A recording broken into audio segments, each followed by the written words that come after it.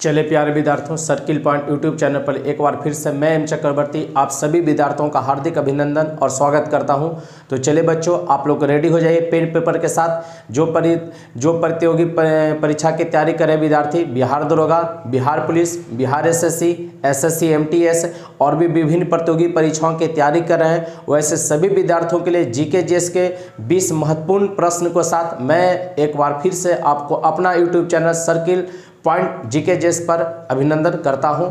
तो चले बच्चों पेन पेपर के साथ रेडी हो जाएँगे। आज हम लोग टॉपिक लिए हैं ज्योग्राफी से सूर्य ताप और तापमान। सूर्य से जो रोशनी आती है, सूर्य तापमान और उसके तापमान से संबंधित प्रश्न है। और लास्ट में इतिहास से कुछ समाचार पत्र जो कि अंग्रेज़ के शासनकाल में या ब्रिटिश इंडिया में भारतीय समाचार पत्रों का जो विकास रहा, उसके संबंधित पाँच प्रश्न को हम लोग देखेंगे। और उससे पहले हम लोग ज्योग्राफी का टॉपिक है, सूर्य ताप एवं तापमान। तो सूर्य ताप एवं तापमान क्या होता है? तो सूर्य से जो प्राप्त ऊर्जा पृथ्वी को मिलती है, वह सूर्य ताप कहलाता है। लेकिन सूर्य से जितना भी ऊर्जा पृथ्वी पर आता है तो सभी पृथ्वी अवशोषित नहीं करता है। ठीक है ना? कुछ रिटर्न भी हो जाता है तो ये भी ध्यान में रखना हम लोगों को। तो चलिए सबसे पहले ध्यान दीजिएगा। सूर्य ताप एवं तापमान से पहला क्वेश्चन बनता है कि वायुमंडल एवं पृथ्वी की ऊर्जा का मुख्य स्रोत क्या है? वायुमंडल और पृथ्वी की ऊर्जा का मुख्य स्रोत क्या माना गया है? सूर्य को माना गया है। वायुमंडल और पृथ्वी की ऊर्जा का मुख्य स्रोत क्या है? स्रोत है, सूर्य है। क्योंकि आप जानते हैं कि अगर सूर्य का उदय नहीं होगा तो जितने भी पेड़ पौधे हैं, प्रकाश संश्लेषण की क्रिया नहीं करेंगे और इससे ऑक्सीजन आपको नहीं मिल पाएगा, जिससे समझिए कि विनाश पूरा पृथ्वी प्रलय भी हो सकता है या विनाश आप कह सकते हैं कि एक तरह से विनाश हो जाएगा। तो पृथ्वी एवं वायुमंडल की ऊर्जा का मुख्य स्रोत किसे माना गया है? सूर्य को माना गया है। अगला सवाल, सूर्य से प्राप्त ऊर्जा को क्या कहते हैं? जो सूर्य से हम लोगों को ऊर्जा मिलता है, वही क्या कहलाता है? सूर्य ताप कहलाता है। ध्यान दीजिएगा, सूर्य से प्राप्त ऊर्जा क्या कहलाता है? सूर्य ताप कहलाता है। अगला प्रश्न, सौर ऊर्जा सूर्य ताप का कितना प्रतिशत भाग पृथ्वी पर पहुँच पाता जाता है? ध्यान दीजिएगा, सौर ऊर्जा का यह सूर्य ताप का कितना प्रतिशत भाग पृथ्वी पर पहुँचता है? तो इक्यावन प्रतिशत भाग पृथ्वी पर पहुँच जाता है। वायुमंडल सौर ऊर्जा का कितना भाग ग्रहण कर लेता है? वायुमंडल है जो कितना अवशोषित कर लेगा या ग्रहण कर लेगा? तो चौदह प्रतिशत, ध्यान दीजिएगा, चौदह प्रतिशत है जो ग्रहण कर लेगा। वायुमंडल सौर ऊर्जा का कितना प्रतिशत ग्रहण कर लेगा? तो चौदह प्रतिशत। इक्यावन प्रतिशत किसको मिलेगा? पृथ्वी को। अब ये दोनों को जोड़ दीजिएगा। और शेष जितने भी रहते हैं, शेष जो बचेगा, सौ में से इसको घटा लेंगे, वो एलबीडो कहा जाएगा। मतलब पुनः कहाँ चला जाएगा? अंतरिक्ष में। वह पृथ्वी भी नहीं लेता है, और ना वायुमंडल अवशोषित कर लेता है। तो जो सूर्य के पास मतलब अंतरिक्ष में वापस लौट जाती है, वैसे सूर्य विकिरण को एलबीडो कहते हैं। विश्व का सबसे गर्म स्थान कौन है? अल अलीजिया। ध्यान दीजिएगा, विश्व का सबसे गर्म स्थान कौन है? अल अलीजिया, जो कि लीबिया देश में कहाँ? लीबिया। यहाँ का जो रिकॉर्ड टेम्परेचर किया गया है, अंठावन डिग्री सेल्सियस। विश्व का सबसे गर्म स्थान अल अलीजिया, लीबिया में पड़ता है। अंठावन डिग्री सेल्सियस यहाँ का रिकॉर्ड किया गया है तापमान। अगला, विश्व का सबसे ठंडा प्रदेश आपसे पूछेगा तो बोस्टॉक अस्टेरान है। विश्व का सबसे ठंडा प्रदेश कौन है? बोस्टॉक अस्टेरान अंटार्कटिका का एक जगह है, अंटार्कटिका में। यहाँ का जो रिकॉर्ड टेम्परेचर क्या गया है? Minus eighty nine point two degree Celsius, minus eighty nine point two degree Celsius round figure में minus eighty nine degree Celsius ले लिया गया है।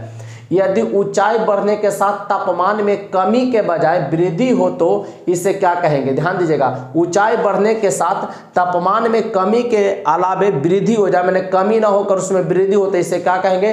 ताप का व्युतक्रमण कहेंगे। तापमान का व्युतक्रमण कहा जाता है। अगला प्रश्न, धारातलीय व्युत्क्रमण के क्या प्रभाव होते हैं? धारातलीय व्युत्क्रमण के क्या प्रभाव होते हैं? तो घने कोहरे का प्रभाव होता है, घने कोहरे का। और घना कोहरा जो है, कहेगा किसके लिए लाभदायक माना गया है? तो चाय की खेती के लिए लाभदायक माना गया है। तो धारातलीय व्युत्क्रमण के प्रभाव घने कोहरे का प्रभाव होगा। और घने कोहरा किसको लाभ देगा? तो चाय की खेती को। और घना कोहरा होगा तो धुंध हो जाएगा। आपको रास्ता, रोड, ये जो है, क्लियर नज़र नहीं आ पाता है, जो कि ठंडे के दिनों में होता है। वायुमंडल में उष्मा का स्थानांतरण किन विधियों द्वारा होता है? अब देखेंगे, क्वेश्चन पूछ रहा है वायुमंडल में उष्मा का स्थानांतरण किन विधि द्वारा होगा? तो विकिरण विधि, चालन विधि, संवहन विधि और अभिवहन प्रक्रिया। ध्यान दीजिएगा, विकिरण प्रक्रिया है, चालन प्रक्रिया है, संवहन प्रक्रिया है और अभिवहन प्रक्रिया है। इसके द्वारा वायुमंडल में उष्मा का क्या होता है? स्थानांतरण होता है। अब आपको पता होगा कि चालन से ध्यान दीजिएगा, अगर फिजिक्स के अनुसार, अगर साइंस के अनुसार देखेंगे तो जितना भी ठोस पदार्थ है, वो किस प्रक्रिया से गर्म होगा? चालन से। जितना भी ठोस पदार्थ है, वो चालन से। गैस और द्रव आपका हो जाएगा संवहन से। गैस और द्रव क्या हो जाएगा? संवहन विधि से। उसके बाद आप याद रखेंगे पारा। ध्यान देंगे पारा, जो कि द्रव है है ना? द्रव के रूप में रहने वाला एक धातु कौन है? पारा। उसमें जो पूछेगा, उष्मा का संचालन किस विधि से होता है? तो चालन विधि से। विकिरण विधि है, जिसमें माध्यम की ज़रूरत नहीं होती। जैसे सूर्य की ऊर्जा पृथ्वी पर पहुंचेगी तो वो विकिरण के विधि से पहुँचती इसमें कोई माध्यम का आवश्यकता नहीं है। अगला जब वायु पृथ्वी तल से गर्म होकर लंबवत उठती है एवं तापमान के संचरण करती है तो वह प्रक्रिया क्या कहलाती है? जब वायु पृथ्वी तल से गर्म होकर लंबवत उठती है एवं तापमान के संचरण करती है, वह प्रक्रिया क्या कहलाती है? संवहन कहलाती है। क्या कहलाती है? संवहन कहलाएगी।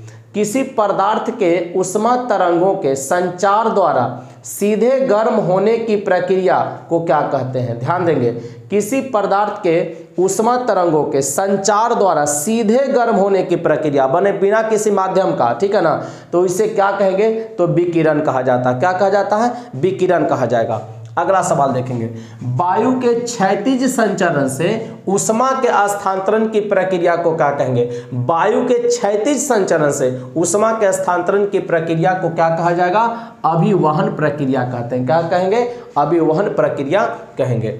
अगला सवाल, एक वस्तु से दूसरी वस्तु में ऊर्जा के स्थानांतरण को क्या कहेंगे? एक वस्तु से दूसरी वस्तु में जो ऊर्जा का स्थानांतरण होगा, वो क्या कहलाएगा? चालन कहलाएगा। क्या कहलाएगा? चालन। ध्यान रखेंगे। किन क्षेत्रों में वर्ष भर तापमान व्युतक्रमण होना समान घटना है? किन क्षेत्रों में वर्ष भर तापमान व्युतक्रमण का होना एक समान घटना है? तो ध्रुवीय क्षेत्रों में ये समान घटना होती है। अगला, साफ़ रात साफ़ रात, मेघीय रात या बादल वाला रात? साफ़ रात, मेघीय रात या बादल वाला रात की अपेक्षा अधिक ठंडा किस कारण से होता है? ध्यान दीजिएगा, गर्मी के दिनों में साफ़ रात में अगर बादल स्वच्छ है तो आपको गर्मी कम लगेगा, लेकिन बादल घेरा हुआ है, मेघ वाला स्थिति बना हुआ है तो आपको गर्मी ज़्यादा लगेगा तो उसी पर है, उसका कारण क्या है? तो विकिरण के कारण होता है। तो साफ़ रात, मेघीय रातों की अपेक्षा अधिक ठंडी होती है, किस कारण से? तो विकिरण के कारण से होता होता है। और ध्यान दीजिएगा, ठंडा के दिनों में अपोजिट होगा। ठंडा के दिनों में क्या होगा कि अगर बादल वगैरह घेर लेगा तो आपको ध्यान दीजिएगा गर्मी माने जो ठंडा थोड़ा सा प्रभाव कम होगा, उसका बादल घेरे हुए रहेगा तो ठीक है? और ठंडा के गर्मी के दिनों में साफ़ रात रहेगा तो मेघीय रातों की अपेक्षा अधिक ठंडी लगने का कारण क्या है? मैंने मौसम थोड़ा सा आपका ठीक रहेगा। गर्मी तो है तो लगेगा ही, लेकिन वो ठंडी महसूस होता है, अन्य दिनों की अपेक्षा वो विकिरण के कारण होता है। अगला, ब्रिटिश भारत में प्रकाशित समाचार पत्र, ध्यान दीजिएगा, इतिहास का ये टॉपिक लिया गया है। ब्रिटिश भारत में प्रकाशित समाचार पत्र। तो ध्यान दीजिएगा, भारत का पहला समाचार पत्र पूछेगा तो द बंगाल गजट। भारत का जो पहला समाचार पत्र है, वो द बंगाल गजट है। इंग्लिश में इसका प्रकाशन 1780 में किया गया था। ध्यान दीजिएगा, बंगाल गजट का पूछेगा कि प्रकाशन किसमें हुआ था? तो इंग्लिश में कितना ईस्वी में? सत्रह ईस्वी में। जेम्स हिक्की के द्वारा, जेम्स हिक्की के द्वारा। देखिए, अब ब्रैकेट में लिखे हुए हैं, भारत का पहला अंग्रेज़ी समाचार पत्र। भारत का पहला अंग्रेज़ी समाचार पत्र। बंगाल गजट, ध्यान दीजिएगा, ये द बंगाल गजट जेम्स से ही किया। ये है सिर्फ़ बंगाल गजट। ये भी इंग्लिश में आया 1818 में। बंगाल गजट, इंग्लिश में आया 1818 में। गंगाधर भट्टाचार्य इसके संपादक रहे। पूछेगा कि बंगाल गजट के संपादक कौन थे? गंगाधर भट्टाचार्य। और भारतीय द्वारा प्रकाशित होने वाला पहला समाचार पत्र रहा। ये भारतीय द्वारा। और जेम्स की भारत के नहीं थे। भारत का पहला समाचार पत्र द बंगाल गजट। अब भारतीय द्वारा प्रकाशित होने वाला पहला समाचार पत्र बंगाल गजट जिसके संपादक गंगाधर भट्टाचार्य थे। उतंड माटन, ध्यान देंगे अगला सवाल है उटंड माटन। ये हिंदी में प्रकाशित हुआ 1826 में। उटंड माटन का प्रकाशन हिंदी में हुआ था 1826 में। जुगल किशोर इसके संपादक थे। संपादक कौन? उटंड माटन के संपादक पूछेगा कौन? जुगल किशोर। और हिंदी भाषा में प्रकाशित होने वाला पहला समाचार पत्र। पूछेगा, हिंदी भाषा में प्रकाशित होने वाला पहला समाचार पत्र कौन? उटंड मार्टंड जो कि हिंदी में अठारह सौ छब्बीस में। संपादक कौन? जुगल किशोर। अगला है दर्पण। ये मराठी में 1832 ईस्वी में हुआ था। ये दर्पण जो समाचार पत्र है, ये मराठी भाषा में 1832 में बाल शास्त्री इसके संपादक थे। बाल शास्त्री इसके संपादक थे। और प्रथम मराठी समाचार पत्र, ऐसे भी क्वेश्चन कर देगा कि प्रथम मराठी समाचार पत्र कौन रहा? दर्पण। इसके संपादक कौन थे? तो बाल शास्त्री थे। अगला सवाल है, रास्त गुफ्तार, ध्यान दीजिएगा। बहुत इंपॉर्टेंट है, क्वेश्चन कई बार एग्ज़ाम में पूछा है। रास्त गुफ्तार गुजराती भाषा में अठारह सौ इक्यावन ईस्वी में। ध्यान देगा राष्ट्र गुप्तार कौन भाषा में? गुजराती में, अठारह सौ इक्यावन ईस्वी में। इसके संपादक दादा भाई नैरोजी थे। इसके संपादक कौन थे? दादा भाई नैरोजी। गुजराती भाषा का ये पहला मासिक पत्रिका है। गुजराती भाषा का पहला मासिक पत्रिका कौन है? राष्ट्र गुफ्तार है। तो बच्चों, हम लोगों ने आज ज्योग्राफी और कुछ इतिहास के समाचार पत्रों को देखा तो मैं उम्मीद करता हूँ ये 20 प्रश्न आप लोग इसे याद कर लीजिए, क्योंकि आपके आने वाले सभी परीक्षाओं के लिए काफ़ी महत्वपूर्ण रखता है। तो मिलते हैं हम लोग कल के क्लास में। आज के लिए इतना ही। जय हिंद, जय भारत, बेस्ट ऑफ़ लक। बंदे मातरम।